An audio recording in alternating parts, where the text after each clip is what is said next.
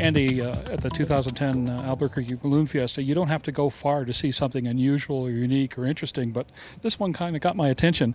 For the moment, I'm going to call it the uh, the sofa on the edge of forever, but uh, your your your little uh, your your little two seat side by side construct here is just fascinating. How did you come up with this? Well, you know, this has uh, its roots in a, a, very similar looking thing a long time ago. Um, you know, everybody has a different attraction to ballooning. Some people want to take all their friends with them. Some people just want to go by themselves. And we have a one-man unit just for that. But this is an adaptation of that. It allows you to, to fly with a, with a good friend in the seated position and, and just kind of relax and hang out. And it's, it just creates a whole different feeling when you fly. It's called a chariot. It's a two-person chariot. You know, we haven't built a lot of these for the U.S. It's much more popular in Europe. But we're hoping by having it on display here, we'll get some people excited.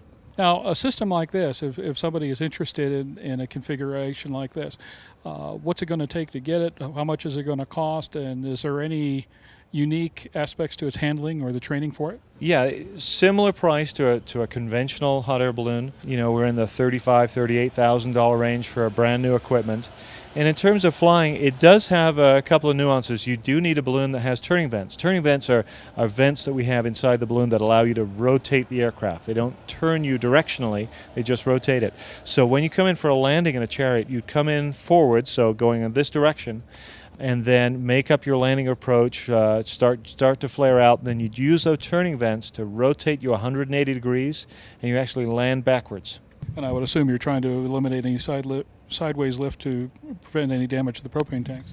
Yeah, the, I mean, the propane tanks are pretty rugged. Uh, part of the certification process we go through is drop testing tanks, so we know they're rugged, but it's just a lot more comfortable to land backwards that way as you drag across the ground, losing all your momentum.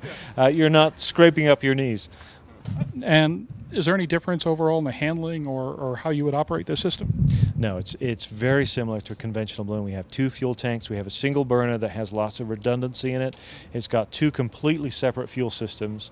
So it would handle just like a regular balloon, and it would be a similar size too. We we talked earlier about balloons being measured by volume.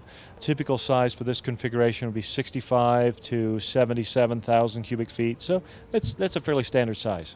And how much weight can this particular system handle? If you had a 65, you're looking at about 1,300 pounds of gross lift. The Chariot is, is fairly lightweight. Of course, we do have a lot of fuel to take with us, and and uh, depending on the size of your, your passengers, but it's it's a pretty capable aircraft.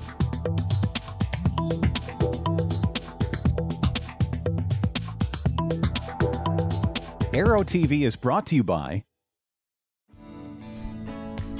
beauty of the Release 9 system architecture is that you have two fully redundant integrated flight displays. Each has access to all the systems and data. Providing full redundancy and eliminating traditional reversionary modes, Release 9 allows either display to be configured as the PFD. Now your failure modes are much more manageable because you can continue to fly with the same familiar display symbology without the need to relearn composite modes you don't typically fly with.